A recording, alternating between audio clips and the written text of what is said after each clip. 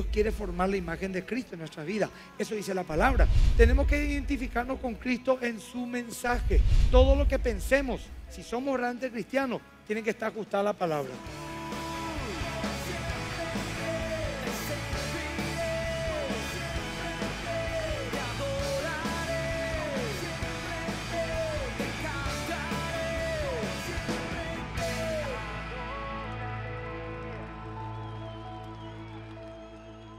Hoy quiero dar un mensaje que di esta mañana. Se llama Identificándome con Cristo. Martes, reunión de previsterio. Le dije ahí al previsterio, ¿qué puedo predicar el domingo? Es bautismo. Y mi hermano Adolfo, como dije esta mañana, tiene una capacidad de con una frase de repente encenderte algo. Me dijo, y mira, va a ser bautismo. Y el bautismo es una identificación con Cristo en su muerte y resurrección. Entonces, habla de identificándome con Cristo. Que así se llama tu prédica, amigo. Wow. Me activó algo. Fue como que me dio la punta ahí y yo fui estirando, ¿verdad?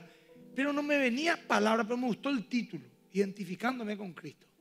Y el miércoles en la antorcha oración de 11 a 12 los miércoles oramos acá.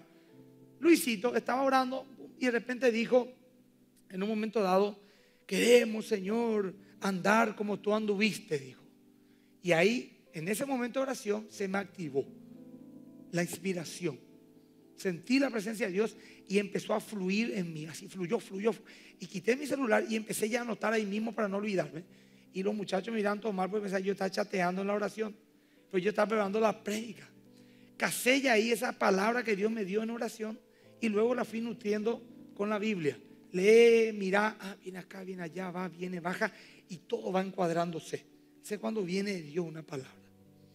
Y lo que, lo que pensé y lo que vino en mi mente fue que Dios quiere formar la imagen de Cristo en nuestra vida. Eso dice la palabra. Romanos 8:29, fíjense lo que dice. Vamos a estudiar la palabra. Esto es un estudio.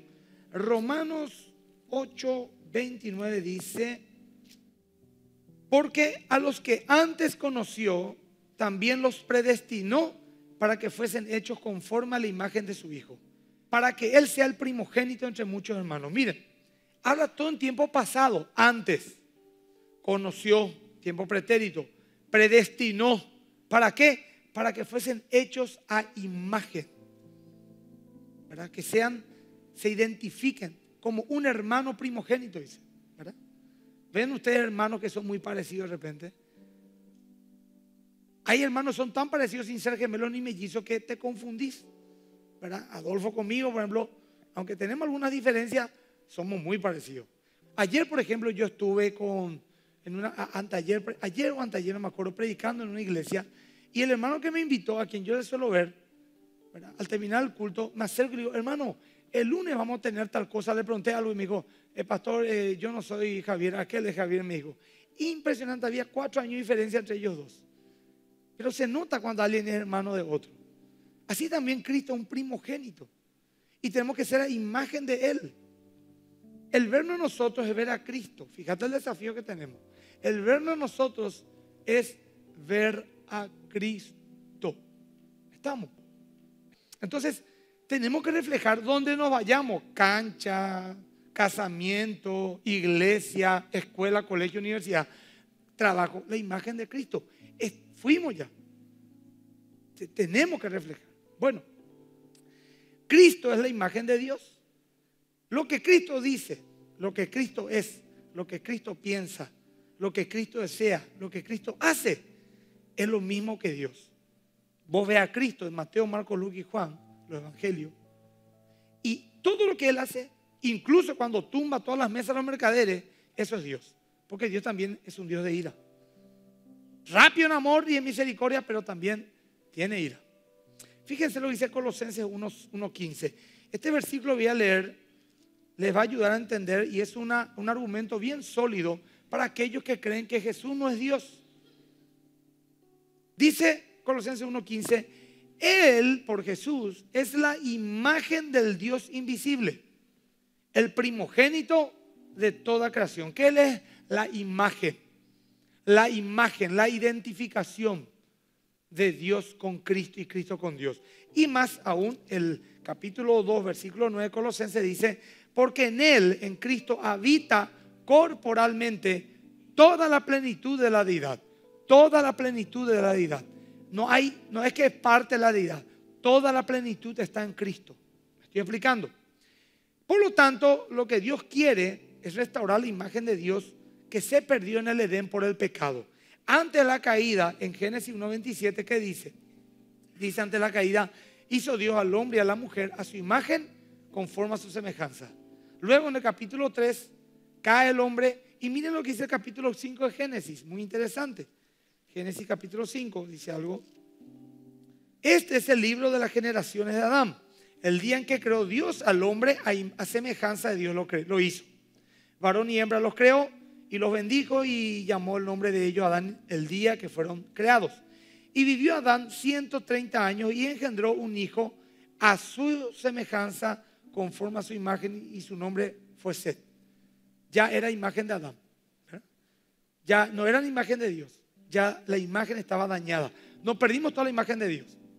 Los seres humanos, aún los impíos, tienen capacidades extraordinarias de crear, de inventar, de amar. Son altruistas, muchos de ellos. Esa es la imagen de Dios en el hombre, pero está terriblemente dañada. No podemos más reflejar la imagen. Es como una persona, por ejemplo, es como Cristo en la cruz. Cristo, a mi criterio, yo ya lo dije varias veces con argumentos bíblicos, a mi criterio fue el hombre más lindo de la historia de la humanidad. No hubo otro hombre, rasgo físico, más perfecto que él. Yo estoy seguro que él tenía la estatura perfecta, la simetría del rostro perfecto, el color de ojos perfecto, la combinación de la piel con su cabello, con su textura. Todo era perfecto en Cristo. Pero cuando estaba en la cruz, dice Isaías 53, dice que fue despojado su hermosura de que era un aspecto repulsivo. Como cuando una persona es golpeada, está todo magullada, machucada, moretonada, y vos te das cuenta que esa persona, pero qué fea queda, ¿verdad? ¿Quién alguna vez le tocó ver a una persona que sufrió un accidente y queda deformado, hasta inclusive su rostro se desproporciona y es horrible, pero realmente vos ves el reflejo de la gloria, de la belleza de esa persona, a pesar de todos los golpes que tiene, pero está todo desequilibrado. Así también el hombre refleja la imagen de Dios, el hombre y la mujer, pero está desequilibrado por culpa del pecado. Entonces nosotros tenemos rasgos en nuestros padres, buenos y malos. Hay cosas que seguro a vos te pasó, dijiste, este defecto de papá y mamá nunca yo voy a tener. ¿Y qué te dice tu marido o tu esposa? Esto, como era tu papá, así vos. Y a veces ni vos no aguantás ser así. Y te propones en serio, pero no podés superar. Porque algo cargado en tu gen, en tu genética, gestos, actitudes, ¿verdad?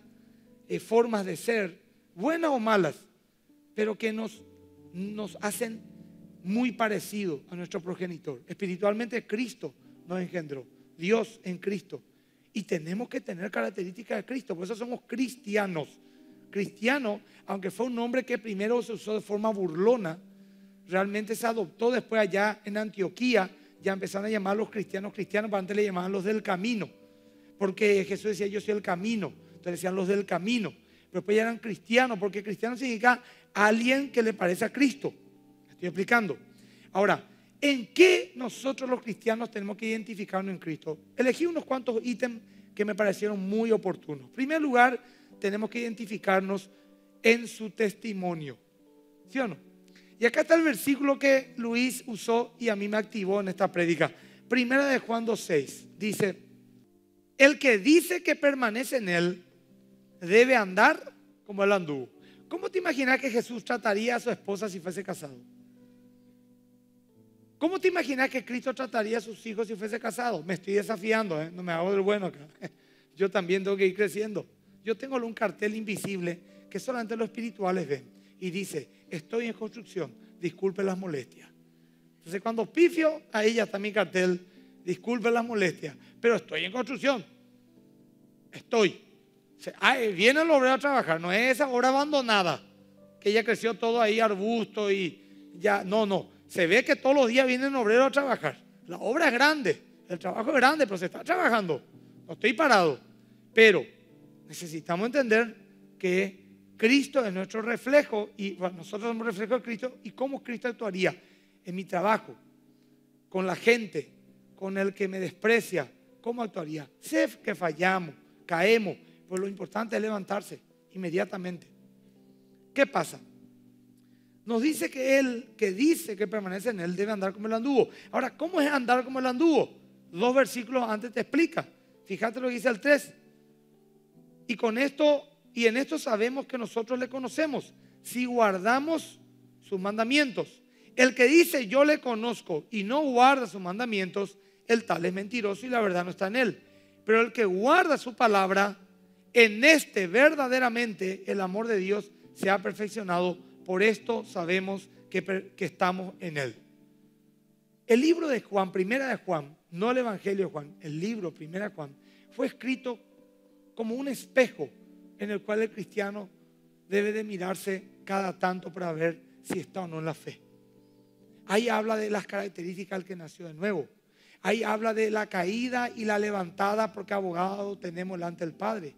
Ahí el apóstol nos desafía a andar como Cristo anduvo, a amar, a no practicar el pecado, a hacer justicia, a creer en Cristo, a amar al prójimo, a amar a Dios. Fíjate, es un lindo libro cortito para evaluarte personalmente como un hijo de Dios. Entonces tenemos que identificarnos con Cristo en su testimonio. Segundo, tenemos que identificarnos con Cristo en su mensaje. Juan capítulo 17, este ya es el Evangelio, no el libro, no la carta, el Evangelio de Juan.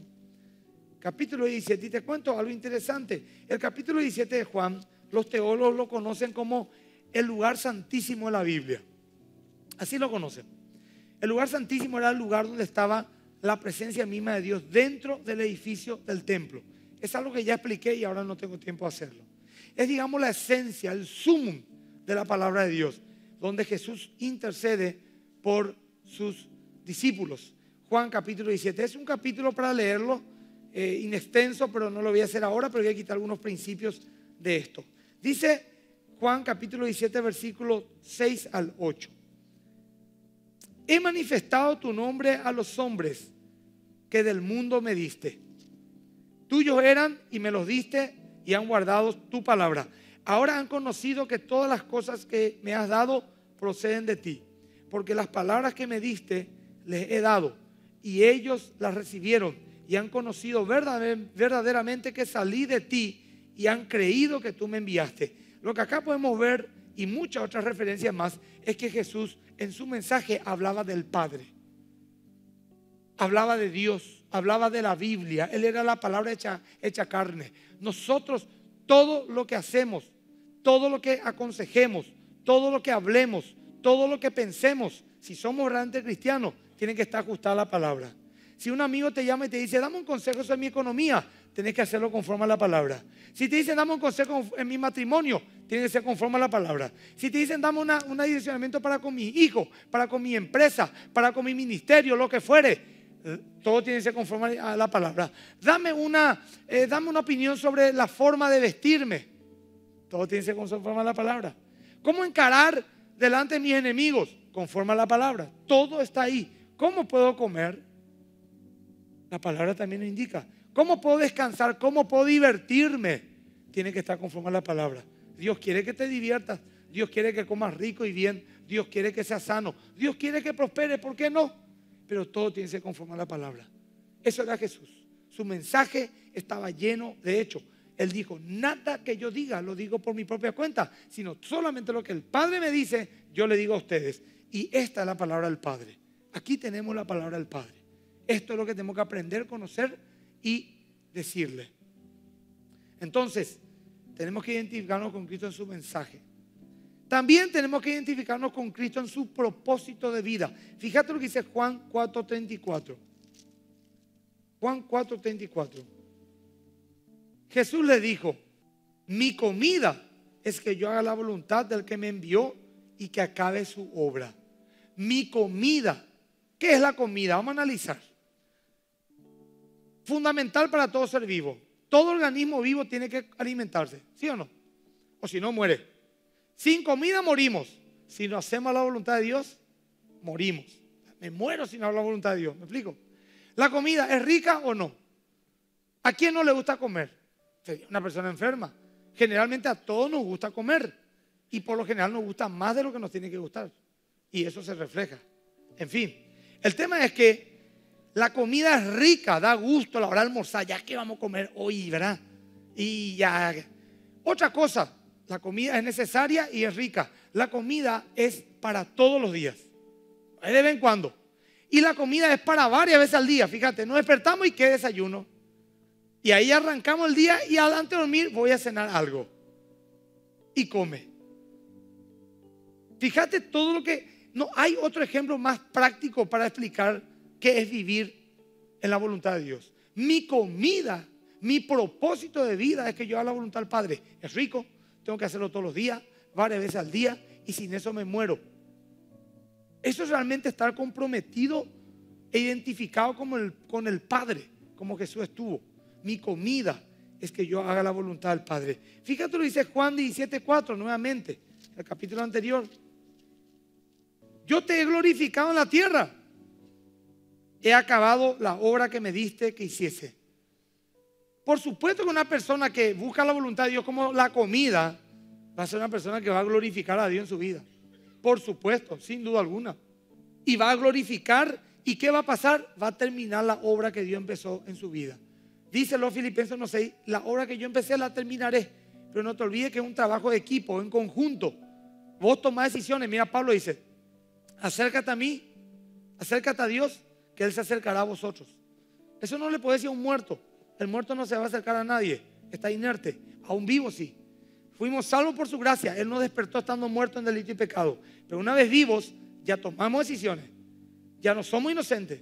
En el sentido de que ya no podemos decir, Señor, arrastrame como, como si fuese una bolsa de papas a donde vos quieres llevarme. No. El Señor va a poner delante de ti los desafíos.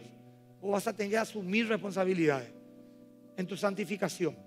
Porque es un trabajo que Dios, claro, de Dios es toda la gloria, pero nosotros tenemos la participación. Por ejemplo, crucificado estoy con Cristo. Una decisión. Él se crucificó. ¿Verdad? Venid a mí los que están cansados, trabajados. Venga, dice. Venid, dice. No dice yo me voy a buscarte. Venga, dice. Algún cristiano cansado, agotado por los sinsabores de la vida. Venga a mí, dice. De su interior correrán ríos de agua viva. Habrá, habrá. E-, ese ejemplo en Medio Oriente es algo muy glorioso, porque allá el agua es lo más caro que hay. Hay países que hasta hoy en día tienen que importar agua de otros lugares. Dependen de algunas lluvias y ahí concentran toda su agua y dependen totalmente de esas fuentes hasta que pase toda la temporada de sequedad. Hablar de, agua, hablar de abundancia, hablar de plenitud, hablar de, de algo vital. Tenemos que identificarnos con Cristo en su padecimiento. Los que van anotando, identificarnos con Cristo en su testimonio, en su mensaje, en su propósito de vida, en su padecimiento. Mateo 10, 24 que dice, esto salón no le gusta a la gente escuchar, pero es una verdad. De todo modo nadie va a zafar de sufrir. 10, 24 dice, miren, dice Jesús, el discípulo no es más que su maestro, ni el siervo más que su señor. Bástale el discípulo ser como su maestro y al siervo como su señor. Si al padre de familia llamaron Belcebú, demonio, ¿cuánto más a los de su casa? Jesús dijo, si a mí me persiguen, a mí me difaman, ¿cuánto más ustedes? Y fíjate el contexto, en el versículo 10 empieza y dice persecuciones venideras. El Señor nos advierte que vamos a sufrir persecución. El Señor advierte que aquel que se identifica con Cristo en su mensaje, en su testimonio, en la voluntad de Dios, va a sufrir persecución, va a sufrir difamación, va a sufrir ataques, va a sufrir soledad, incluso puede llegar a perder la vida si la voluntad de Dios así lo requiere. ¿Y qué dice la Biblia? A los cristianos, sufran con Cristo y tómenlo como un gran motivo de gloria y de honra. ¿Qué dijo el apóstol Santiago? Tened por sumo gozo cuando os halléis en diversas pruebas. El día que vos sufras por la causa de Cristo, nadie te engañó, nadie te mintió por lo menos en esta iglesia. Y por lo menos la palabra de Dios. La Biblia no promete un jardín de rosas a sus hijos. La Biblia habla y dice, fuérzate y sé valiente. La Biblia dice, todo lo puedes en Cristo. Esas son palabras que uno le da a alguien que va a pelearla.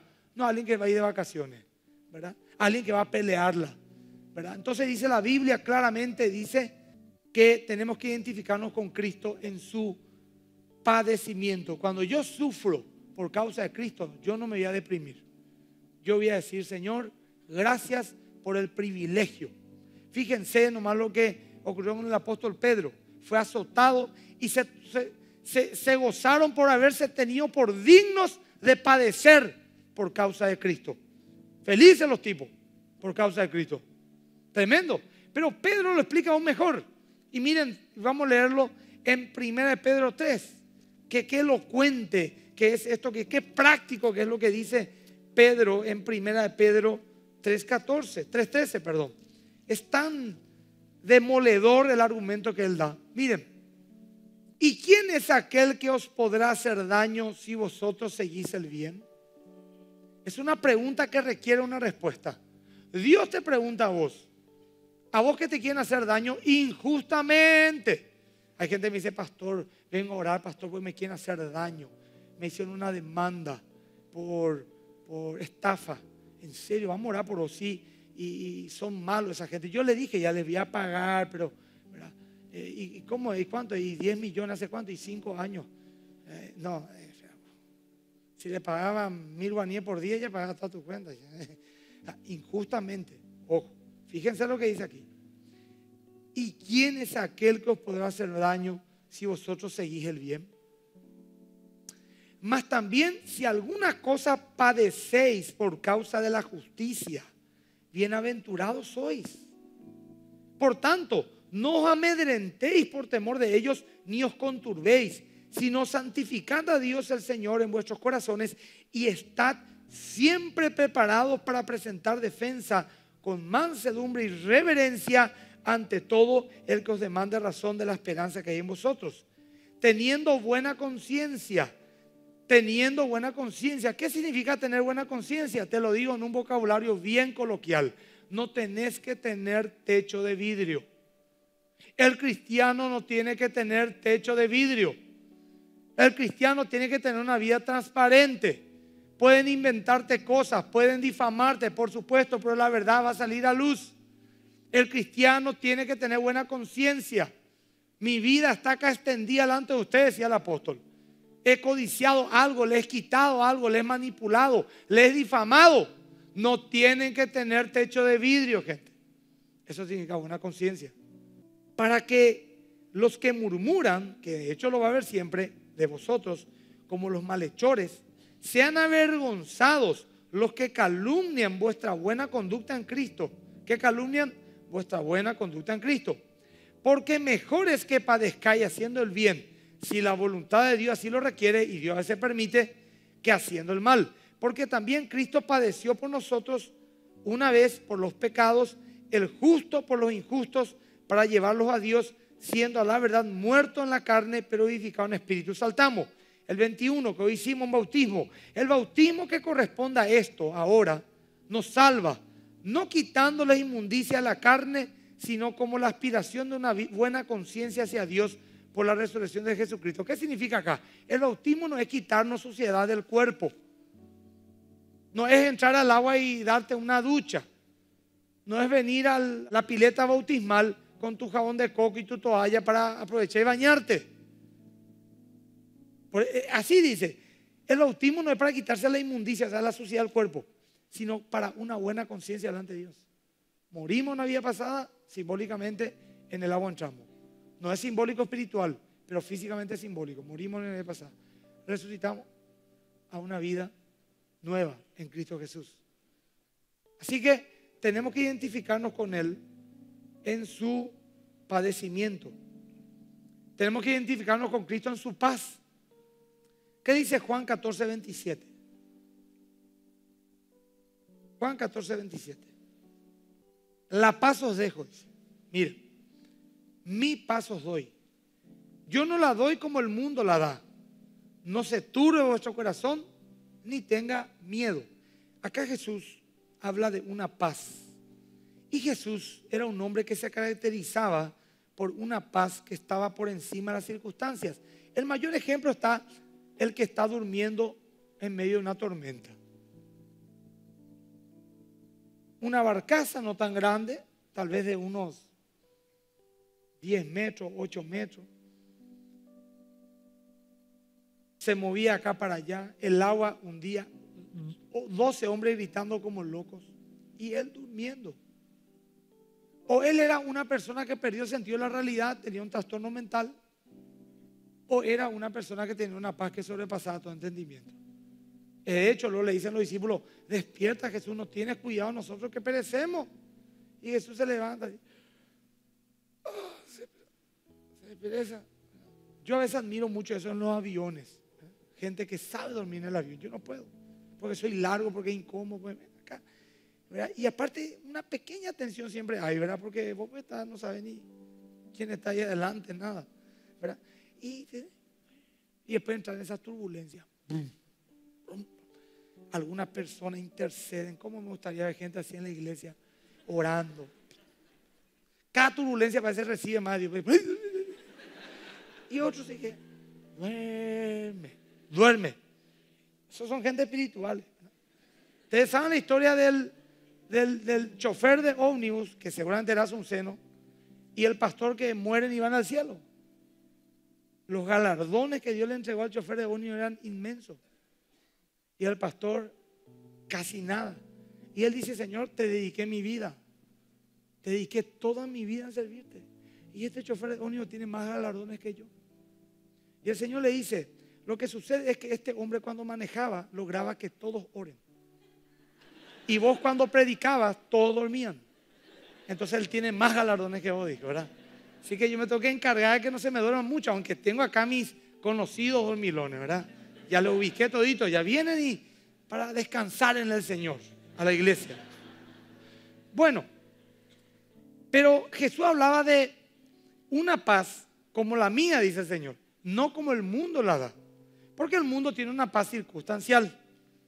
Si hay, todo está calmo, gano bien, mi familia está bien, estoy sano de cuerpo, yo estoy en paz, estoy tranquilo, estoy feliz. Pero cambia la circunstancia y empiezo ya a ponerme mal. Sin embargo, Jesús tenía una paz que estaba por encima de las circunstancias. Y para eso te da un ejemplo que ya di varias veces, pero hace mucho no doy más. De una anécdota que contó un predicador que vino acá hace varios años, hace 12 años. Contó y graficó lo que era la paz que sobrepasa todo entendimiento, la paz que Jesús tenía. Él dijo que en la ciudad de Miami hubo un concurso de pintura donde una casa de arte llamaba concurso a importantes pintores para que impregnen en el lienzo una imagen que refleje la paz. Ese era el tema, la paz. Es todo un arte, esto es una cosa que requiere mucha cultura. Imprimir una palabra abstracta en el lienzo, la paz. Si yo, por ejemplo, digo eh, el fútbol, boom, o el camión, bam, ¿verdad? O la iglesia, pero la paz es algo abstracto. Es como decir la energía. ¿verdad? Y dice que él va a la exposición, pues le llamó la atención el título y como el predicador quería ver. Y va y, ve un cuadro que creo que salió del tercer puesto. Era una playa con un mar calmo, color turquesa. Al fondo un atardecer precioso, un cielo azul y bajando al mar rojizo. Unas gaviotas volando por allá, unas cuantas palmeras. Esa, ese, ¿cómo se llama? Piril, decimos nosotros, que es que se tira así para acostarse, una piña colada al lado y una mujer con las piernas así cruzadas mirando el mar. Vos veías eso, era una cosa que te relajaba solamente ver. El siguiente cuadro, el segundo, era algo muy parecido, pero era un monte, donde árboles altos y bajaban, dice, de una manera tan gráfica, los rayos de luz entre las hojas y que golpeaban contra el piso, el suelo.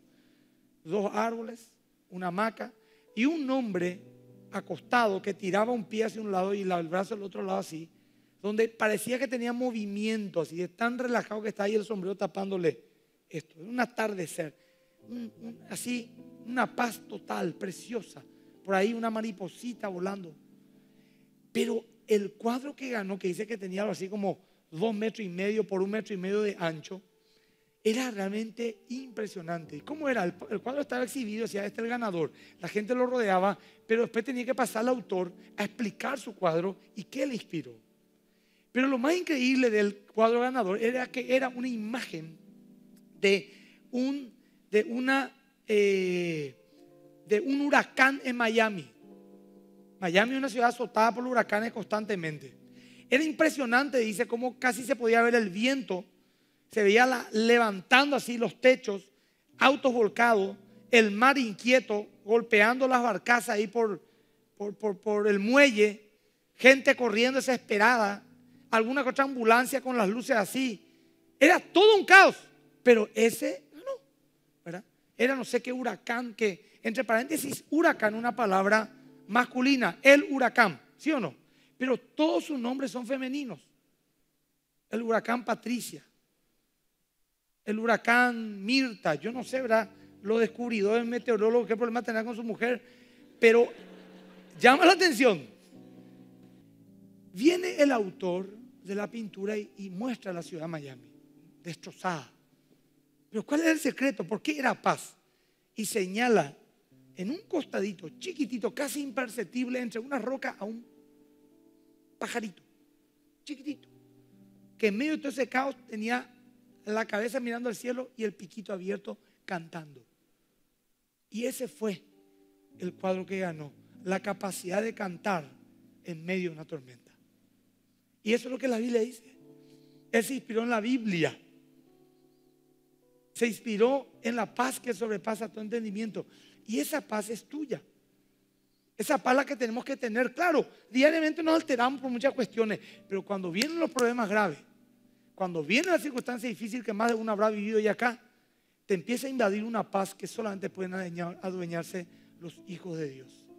Es como que te dan una herramienta que vos lo guardás y lo usás cada vez que lo necesitas. Es algo que hay, que experimentarlo, pero generalmente se experimenta en circunstancias límites de la vida. Pero si ya lo viviste, es tuya. Y si no lo viviste, cuando lo vivas, porque de hecho si pensabas vivir 30, 40 años más, de seguro vas a pasar circunstancias difíciles en la vida, adueñate de esa paz que sobrepasa. Pues él dijo, mi paz te dejo. Es como que dice, te dejo, acá está, y te deja algo, y vos tenés que tomarlo. Es un acto de fe. Nos identificamos con Jesús en la paz, en medio de un mundo alterado, inestable, lleno de miedo. Nosotros debemos caminar en paz. Hay gente que se percibe su paz. Se percibe su paz. Llega y ya. Yo una vez fui muy honrado por una persona. Llegó a mi oficina allá en el Multiplaza cuando tenía mi local comercial. Alteradísimo llegó con un equipo de tele y entró todo cayó. ¿Qué te pasa? Me, conocía un amigo. ¿Qué te pasa? Le dije yo. Nada, estoy muy nervioso. y me empezó a contar que voy a orar por vos, querés un consejo. No, no, te pido por favor, Emilio. Hacer nomás tu cheque, porque yo estoy haciendo mi cheque, ¿verdad? Mi mercadería. Hacer nomás tu cheque. Yo solamente quiero quedarme acá y no me digas nada. Y lo hizo. Dos horas. Cada que yo así, pues mío, loco. Lo, che, y que, no, no, no, no, háblate, dije, hacer nomás. Yo acá quiero estar porque acá yo tengo paz. Te prometo, hermano. En el, en el Villamorra teníamos otro local comercial y me contaba Jaime, mi encargado, de que había clientes que venían así, entran, hola señora, y se sentaban. Era ahí. Viste, yo vendía zapatos. Le decía, no, no, no, no, vengo peleadísimo con mi esposo y vengo acá. No vengo a comprar nada, vengo solamente a estar en paz. Y acá yo tengo paz. Te prometo, hermano, que así decía. Te prometo. Esa es tu casa. Tiene que serlo. Ese es tu lugar de trabajo. Tiene que serlo. Si no, algo no está funcionando. Tenemos que identificarnos con Cristo. Ese es un desafío. No es para que te desanime. Es para que te desafíes a que eso ocurra en tu casa. No significa que todo el día estamos así o, caminando a 10. No, hay discusiones, hay problemas, pero buscamos la paz. Buscamos la paz. Mira, la gente dice, sin santidad nadie verá a Dios. Salen mucha gente con esa voz de ultratumba, sin santidad nadie verá a Dios. Y le dice lo hace más malévolo. A eso no le encanta decirle. Pero hay un versículo, una palabra antes en el mismo versículo que dice, buscad la paz y la santidad sin el cual nadie verá a Dios. O sea que el que no busca la paz es como no buscar la santidad. Y ambos están, digamos que, condenados, entre comillas, a, no ver a Dios. Yo, lo tomé muy en serio, miren. No es fácil, repito. Porque somos así. A la carne no le gusta estar en paz, aunque vos no creas. A la carne le gustan los problemas y si no, ahí lo inventa. Algunos se despiertan y dicen, hoy no tengo ni un problema, voy a buscar uno. Hay gente que es así. Hay gente que es así. Le encanta la mala noticia. Fíjate, el diario luego si ponemos, los estudiantes se destaca eh, en matemática en Europa, que hay paraguayos que sé.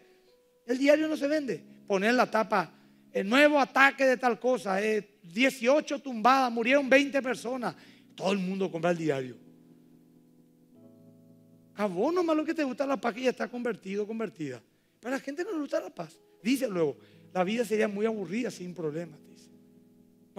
Dice. Te presto alguno entonces y yo me libero un poquito. Sí, porque algunos dicen, ay, no. Bueno, yo no soy así, pero en fin. La verdadera paz no consiste en, tener, en tenerla en la ausencia de problemas, sino en medio de ellas. Hay que identificarse con Cristo en su actitud. En Filipenses 2.5 dice, haya pues en vosotros ese mismo sentir que hubo también en Cristo Jesús. Filipenses 2.5. Haya pues en vosotros ese mismo sentir que hubo también en Cristo Jesús. La palabra sentir en muchas versiones se traduce la misma actitud. La misma actitud que Cristo Jesús. El contexto es largo, no lo voy a leer ahora, pero les dejo como tarea en, en Filipenses 2.5, o sea, 2.1 en adelante. Vean que el contexto habla de versículos que nos hablan de la humildad, de la humillación, de la motivación para hacer las cosas. Dice el versículo 3, no hagan nada por vanagloria ni contienda. O sea que tu motivación, ¿por qué hacer lo que haces? ¿Para ser visto? ¿Para ser reconocido? ¿Por baja autoestima? ¿Para competir y para sentirte más que otros? ¿Cuál es tu motivación? ¿O tu motivación es simplemente servir? Alegrarle. Había un pastor que escribió un libro que hará 15 años que lo leí que me ayudó mucho y lo tomé también como un desafío en mi vida. Él decía, yo me propuse dejarles a todos un poco mejor de cómo les encontré. Ese es mi propósito de vida, dijo. Fíjate qué sencillo. Si viene un amigo medio triste, yo tengo que dejarlo un poco mejor. Si viene un amigo re contento, tengo que dejarlo un poco más contento de lo que ya estaba. Quiero servirle a la gente. Me parece una gran motivación. ¿Quién quiere amigos así? ¿Quién quiere pareja así? ¿Quién quiere padre así? ¿Quién quiere hijos así? Terminar un hijo y diga, lo único mi propósito de vida es esto. Que mi papá esté cada vez mejor con mi mamá y yo voy a ser un agente de bendición para ellos. El hijo de un pastor muy reconocido acá en Paraguay una vez predicó y dijo algo que me, me tocó profundamente. Que cuando tenía una cierta edad en su adolescencia leyó la parte donde Jesús fue bautizado. Y decía que cuando Jesús subió del agua, el padre dijo, he ahí mi hijo amado en quien tengo complacencia. Y él dijo, yo me voy a encargar de que mi papá diga como Dios Padre de mí. Y hoy en día un predicador, un muchacho excelente, de gran bendición para su papá. Fíjate un poco lo que él se propuso como meta en su adolescencia. Voy a vivir de tal manera que mi papá, que es un pastor, diga, este es mi hijo amado, en quien tengo complacencia estudió, trabajó, se formó, sirva a Dios y Dios le bendice. Por supuesto que da bendición. Yo le digo siempre a mi hijo, hasta que se le marque a fuego. Hijo, nunca hagas nada que no pueda ofrecerle a Dios y que deshonra a tus padres. Nunca. Te pido, por favor. Por vos no malo, no es por nosotros. Vos no puedes ofrecerle a Dios una orgía. Vos no puedes ofrecerle a Dios un vicio. Vos no puedes ofrecerle a Dios una deslealtad. A tus padres le va a deshonrar que seas deshonesto, que seas un pervertido, un grosero, un mal hablado. Yo estoy muy contento por eso. Mi hijo tiene ocho años y tiene otro un sobrinito de también casi la misma edad con mi cuñado. Y ellos, ellos les gusta el fútbol, practican fútbol y les solemos llevar a la cancha. Y Emilio, hombre, yo le digo, domingo no te me vas a ir a la cancha, porque yo no me puedo ir, es el día del Señor, vamos a servir a Dios. Sábado Viernes, otro día puedo acompañarte. Por, por, por, por vos nomás te acompañaba, papito. Y yo le dije, hay mucha gente que lo será en la cancha mi hijo. ¿Verdad? Y nos vamos. Ah, aquí, va. ¿verdad? Criatura, veo. Criatura de 8 o 9 años, el papá se para. Árbitro. Y el papá. Grosero, grosero, grosero. La edad de mi hijo. Y mi hijo no, no dice ni una grosería. No hay, en ningún lado. En ningún lado él no dice. No dice grosería, ni su primo tampoco. Y la Biblia dice, las malas conversaciones corrompen la buena costumbre y ni una palabra ociosa sale de tu boca. Entonces tenemos que instruirnos en eso, ¿verdad? Tenemos que instruirnos, hermanos. Podemos estar en medio del mundo, pero no ser como el mundo. No ser como el mundo. Podemos ser luz en medio de la oscuridad. Yo por lo menos, yo no me olvido un profesor mío de guitarra cuando yo no era creyente, tenía 18 años. Él no era creyente tampoco, yo tampoco era. Yo que me acuerdo de este muchacho, tal vez menos, tenía 15, 16 años yo, estudiaba guitarra. Él era un muchacho que ni una sola grosería decía, ni una, nunca, nunca. Y hasta hoy día, 30 años después, me acuerdo todavía de eso. Ni una grosería. Te da un destaque hacer lo que Cristo hizo. Por eso él cambió la historia de la humanidad en dos. No, no lo hizo Napoleón, ni Sócrates, ni Platón, ni Aristóteles, ni Hitler. Fue Cristo el que cambió la historia. No fue Alejandro el Grande, no fue, fue Cristo el que cambió la historia. Hace la diferencia una mujer que tiene, un hombre y una mujer que tiene el carácter de Cristo. Estamos hermanos. Dios promete recompensa a los que tienen la misma actitud de Cristo. Lee el capítulo de, de Filipenses y vas a encontrar. El penúltimo. Tenemos que identificarnos con Cristo en su relación con el Padre. En su relación con el Padre. Jesús tenía una relación íntima con el Padre al punto de decir que Él y el Padre eran uno y que Él, que había visto a Él, había visto al Padre. Es decir, mira, Felipe, le dice Felipe, nuevamente Felipe, Felipe era el que, el que era un poco especial, Felipe, ¿verdad? Y le dice, Felipe, muéstranos al Padre y creeremos. ¿Tanto tiempo hace que está conmigo, Felipe? El que me vio a mí, vio al Padre. Es como que yo te diga, o alguien te dice, eh, fulana, fulano, eh, mostrame un poco quién es Jesús. Por favor, ¿hace cuántos años somos amigos? ¿Me viste a mí? ¿Le viste a Jesús? ¿Viste cómo reacciono? ¿Viste cómo sirvo? ¿Viste cómo ayudo?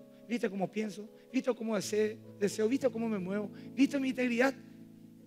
Lee y compárame, soy yo. O sea, fuera de toda vanidad, ¿verdad? Le decís vos, Yo, no le digo eso, vos que podés decirle que tenés autoridad.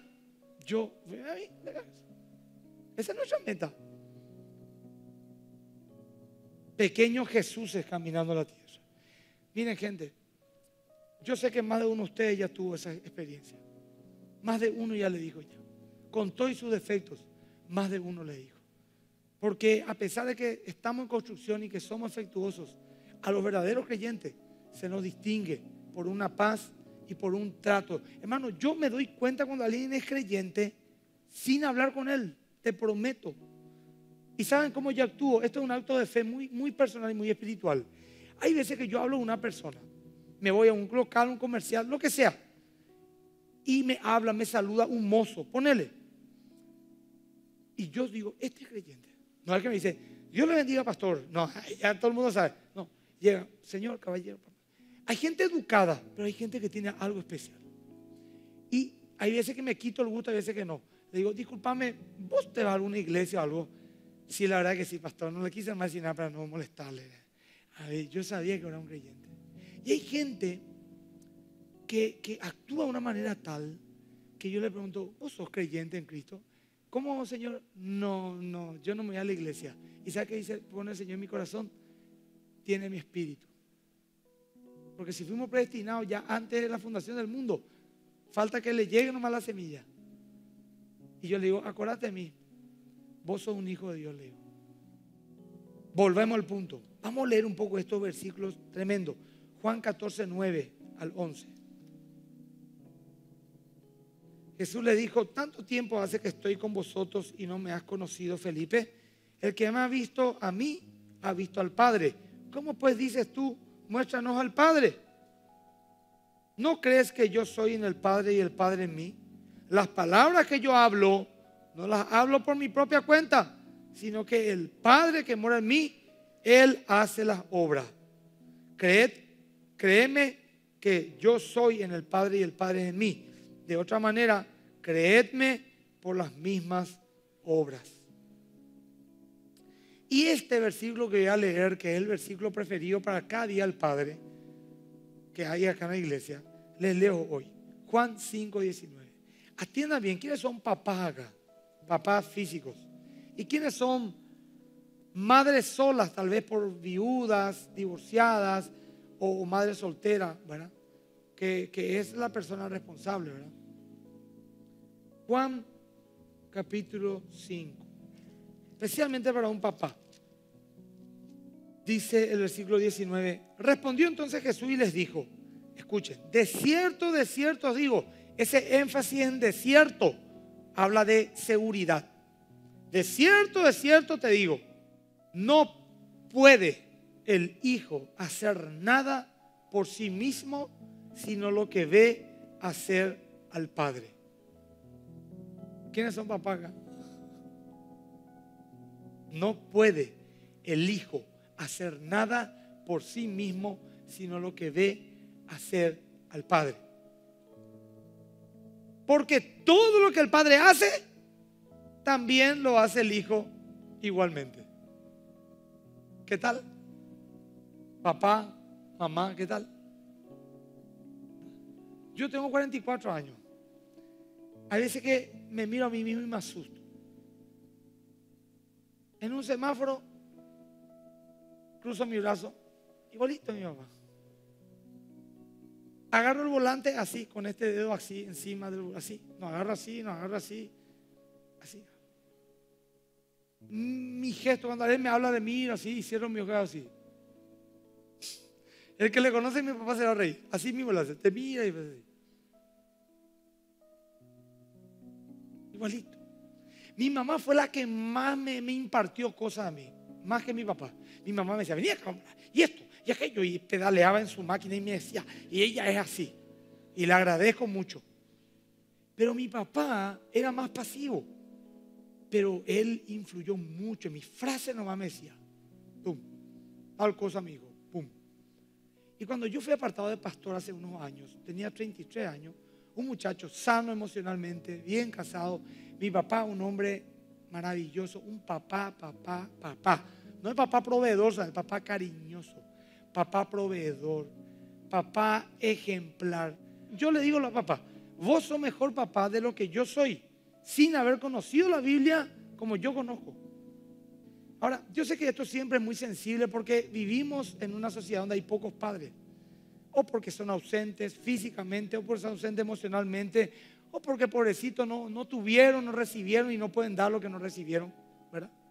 Yo conozco gente, por ejemplo, que me dice, jamás mi papá me dijo te amo, nunca, ni te quiero nada, jamás, nunca, ni en mi 15, ni en mi casamiento, jamás, nunca, nunca me abrazó. Bueno, porque pobrecito, eso también lo que a lo mejor recibió, ¿verdad? Pero es mucho que un papá nunca te diga te amo, una mamá. Pero yo les pido a aquellos que son huérfanos físicamente o huérfanos emocionalmente. Yo te decía una cosa y tienen que tomar nomás ya. no te haga la víctima. Tomar nomás por fe. La Biblia dice que la imagen de un padre es tan importante, pero tan importante que el que no tiene, el Señor dice, yo soy el padre del huérfano y esposo de la viuda. Dios es el ocupa el lugar que tu papá por algún motivo no está ocupando. Dios es el que te da identidad.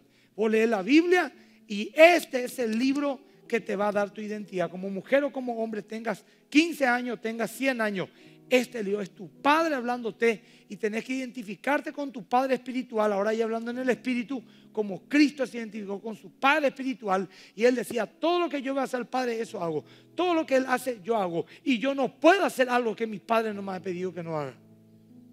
Eso realmente es identificarse con el Padre. Y así como Cristo se identificó con el Padre, nosotros nos identificamos con Cristo. Entonces, tenemos hasta el momento para leer ya el último, que tenemos que identificarnos con Cristo en su testimonio, en su mensaje, en su propósito de vida, en su padecimiento, en su paz, en su actitud, en su relación con el Padre y por último en su bautismo. Y vamos a leer en extenso, cinco minutos más, Romanos 6.3. ¿O no sabéis que todos los que hemos sido bautizados en Cristo Jesús, esta mañana hubo bautismo, hemos sido bautizados en su muerte? Voy a explicar después. Porque somos sepultados, simbólicamente nos sepultaron bajo el agua. Por eso es por inversión. Hay que entrar bajo el agua. Sepultados juntamente con él para muerte por el bautismo. O sea que en el bautismo se simboliza la muerte a una vida pasada. A fin de que como Cristo resucitó de los muertos por la gloria del Padre, así también vosotros andéis o andemos en vida nueva. Al salir del agua bautismal, yo ando en vida nueva. En vida nueva. Dice, porque si fuimos plantados, plantado habla de una semilla uno planta y en tierra, habla otra vez símbolo de muerte. Dice que si la semilla no es plantada queda sola, pero si es plantada así muere, lleva mucho fruto. Entonces tenemos que morir a nuestros deseos egoístas para poder fructificarnos espiritualmente y ser de bendición a otros. Dice, porque si fuimos plantados juntamente con Él en la semejanza de su muerte, semejanza, ¿verdad? Así también lo seremos en la de su resurrección. Sabiendo esto, que nuestro viejo hombre, nuestra naturaleza caída, fue crucificado juntamente con Él para que el cuerpo del pecado sea destruido, a fin de que no sirvamos mal pecado, sirvamos significa ser esclavo, porque el que ha muerto ha sido justificado el pecado, y si morimos con Cristo, creeremos que también viviremos con Él, sabiendo que Cristo, habiendo resucitado a los muertos, y ya no muere, la muerte no se enseñoreará, no será más dueño nuestro.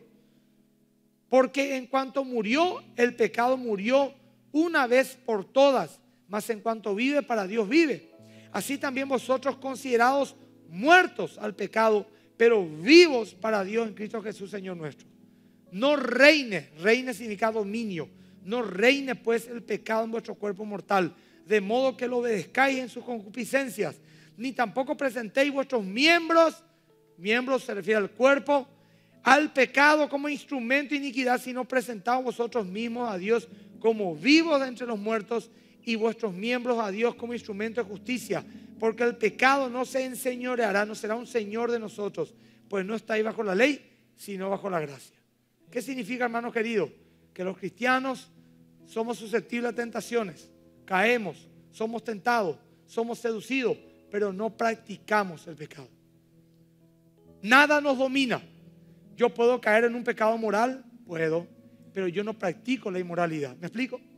Ese puedo no significa tener permiso, significa que puede ocurrir porque somos débiles. Yo puedo caer en la depresión, puedo, pero no voy a tener un estilo de vida de depresión, de tristeza y de amargura. Eso ya no puedo, porque no es dueño mío. Yo puedo caer en la codicia, puedo. Puedo caer en la amargura, puedo. Puedo caer en, no sé, en la vanidad, puedo. Pero mi estilo de vida no es de vanidad, mi estilo de vida no es de, injusticia. Mi estilo de vida no es de soberbia ni de amargura. Lo supero. Lo supero. Yo no estoy esclavizado en nada ni de nadie. Soy libre. Y libre es aquel que hace y gusta hacer lo que le conviene. Aquí voy a contar una anécdota muy trivial, pero puede llevarte a una revelación más profunda. Como, como saben de todos ustedes, yo también me gusta una buena comida.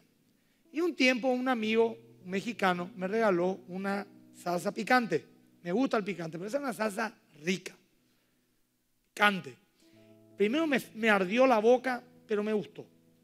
Y después comí, comí, hasta que ya no me ardía más, sino que ya me gustaba, era rico. Le ponía todo, le ponía la empanada, le ponía el lomito. Tenía lo así, tipo así, en un costadito así tenía a mi riñonera así tenía. Le ponía a mi guiso, a mi caldo abá, a mi toddy, a todo le ponía. Era ya algo así que en serio me gustaba. Y pasó tres, cuatro meses que yo comía picante por todos lados. Cualquier día, eh, vamos a comer, eh, tenés picante. Acá tenés una media luna, tráeme picante. Y, como, picante, picante. Y me fui a un restaurante una vez con mi esposa a comer comida china. Fíjate lo que comida china te va. Y lo primero ya, este, este, este, y tráeme picante. Y me sirvió todo y me dijo, se acabó el picante, le bajó.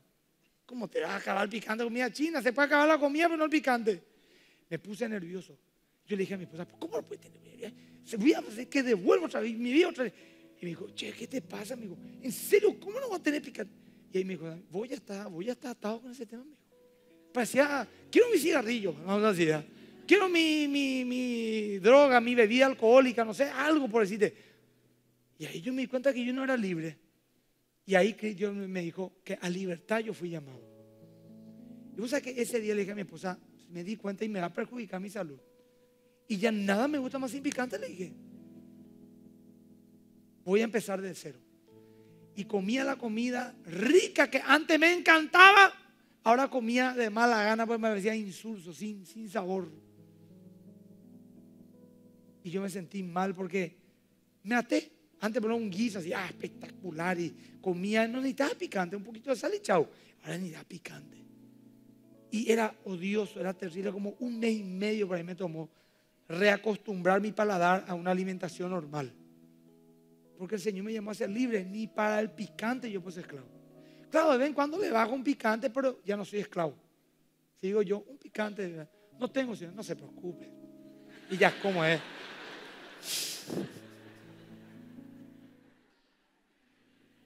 Yo soy libre. Y ustedes también son libres. ¿Verdad? Sí. Vamos a orar, hermanos. Ponémonos en pie, por favor. Padre, te damos gracias, Señor. Quiero entregarte este tiempo. Bendícenos, Señor, con tu presencia.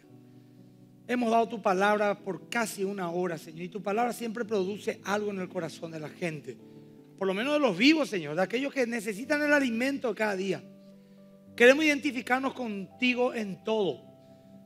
Especialmente, Señor, en tu muerte y en tu resurrección para una vida nueva. Quiero bendecir la vida de mi hermano y mi hermana acá presente.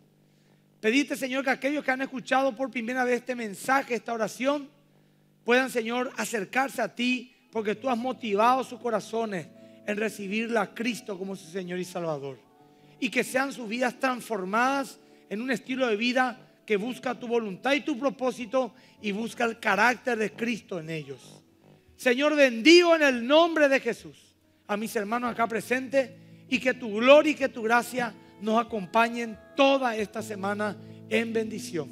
En el nombre de Jesús, amén y amén. Vamos a darle un aplauso al Señor.